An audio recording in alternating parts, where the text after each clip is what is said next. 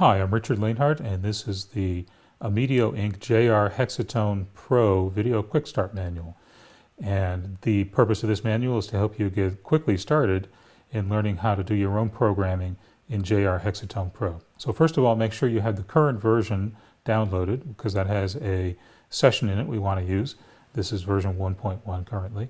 So if you don't have that current version, go to the Apple iTunes Store and download it. So once you have it, let's load that session, 01 Quick Start 01, and listen to it. So this is just a simple drum pattern here that is set up to let us show you how things work here in JR Hexatone Pro. So you see that we have six hexagons here in the center. You can think of those six hexagons as each being an individual oscillator into which you load a sample.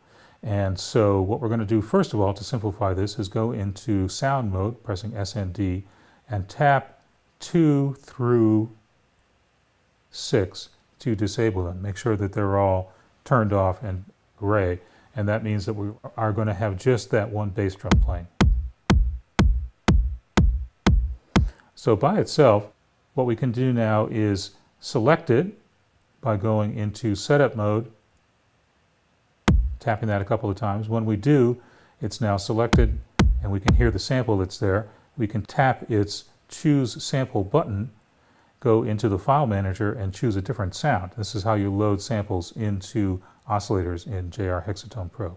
So we have a filter down here that lets us pick different categories. And what we're going to do is go to BD for bass drum, tap it to listen.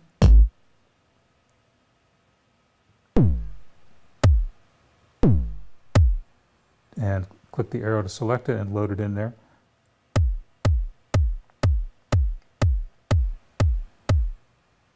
And that's how you swap samples out in the oscillators in JR Hexatone Pro. All right, next we're going to take a look at timing values here and how that affects the basic programming of properties in the grid itself here. So in the hexagon, we have, as you can see, a series of hexagons that are outlined in red. And when we play, again, listening to just the bass drum here, you'll see that it kind of lights up when it gets to those red hexagons. That's telling us that a sound is happening there. So only hexagons that have a red border around them will produce sound when the oscillator travels through them. The other hexagons around there can affect the rate at which it travels through, but essentially only those things with red borders are going to make sound. So one thing we can do if we want to increase the beat here is just add more borders here. So let's tap the sound button. I just missed it there. Missed it there too. And there. So now we have all four in a row with red borders.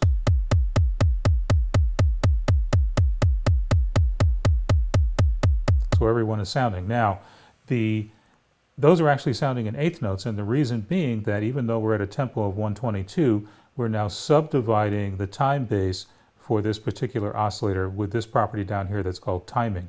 So if I take this, tap on it and drag it up and just set it to 1, we're in setup mode here, set it to 1 to 1. Now if I play this, what that means is that every hexagon here in the oscillator's path is going to be a quarter note. So this is changing the timing essentially of the grid as that oscillator passes through there. So now if I wanted to have every other quarter note sound, I would do it like that. So as you can see, there's an interaction between the timing property here and the grid placements of these red bordered hexagons that make the actual sound. Let's go back again.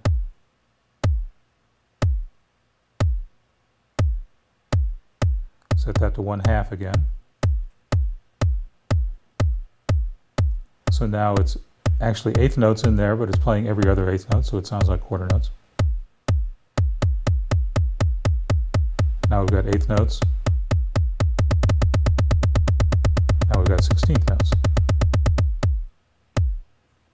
And there are our quarter notes again. So that's how that works. The timing here, this timing value, changes the rate at which the oscillator travels through the hexagon and determines how this hexagon travel here is going to be a subdivision of our basic tempo up here. So our basic tempo was 122. At 1 to 1, each of those represents a quarter note. At 1 to 2, each of those represents an eighth note, and so on. All right, now you probably have seen other sessions that you've loaded where the paths of the oscillators have gone all over the place in seemingly unpredictable ways. And here, ours are being very predictable. The reason for that is that these paths have black hexagons protecting them, so to speak, on either side from wandering off into the larger hexagon field here. Now, if you look closely, you'll see that there are black hexagons on both sides and some lighter gray hexagons here in the path itself. So to change that, you go into grid mode, tap the grid button, and now by tapping those individual hexagons, you can change their color. And by changing their color, you're changing the probability that the oscillator is going to travel over there. So what we're going to do now is just in grid mode, tap these hexagons that are on the sides here. We're going to tap them again to make a lighter one here, and we'll do a lighter one there as well. And now watch what happens.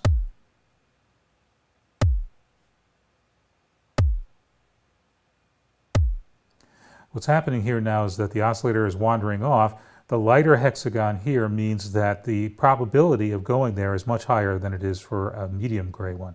So in fact, the oscillator is going over this way and is now being diverted over here into this area where there are the two lighter hexagons. So it's being, the probability is that it's going over that way.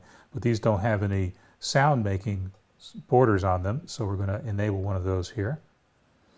And now listen to that.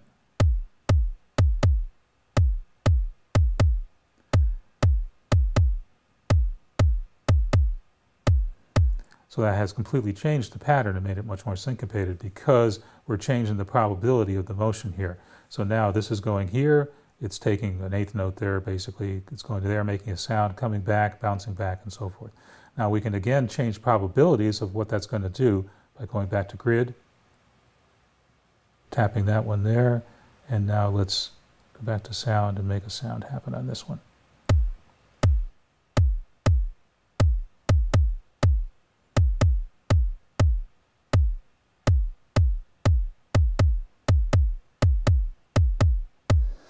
So now, because these are equal colors, there's an equal probability that the path is going to travel one way or another. And when it does, it changes the pattern itself that gets played. And that's how Hexatone makes its own patterns. It generates them by sending the oscillators down through these paths here, and those paths then determine how often the beat is going to sound, how often the sample is going to sound. You'll also notice that when we're doing so, that it also always cycles back on the 4 on the downbeat of the 1 rather in 4-4 back to the center and starts a new pattern out so that there will always be some sound happening at least that's related to 4-4 no matter how diverse the oscillator path gets traveling here so that you won't completely lose sense of where the beat is. All right, now let's take what we've learned and modify some of these other sequences here. First of all, let's go here, sound mode, and turn on 2 and 5. Listen to those. And now let's change the sound here by going into setup mode.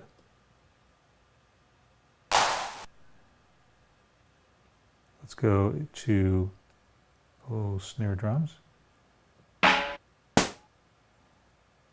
Choose that one. Keep that hi-hat there. Next, we'll go into grid mode. Give it a listen there and let us open up some of the sounds here a little bit.